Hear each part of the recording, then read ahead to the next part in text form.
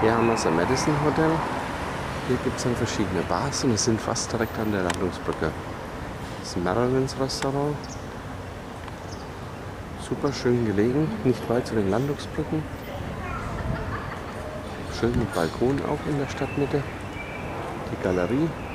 Und hier vor ist man dann direkt gleich an den Landungsbrücken.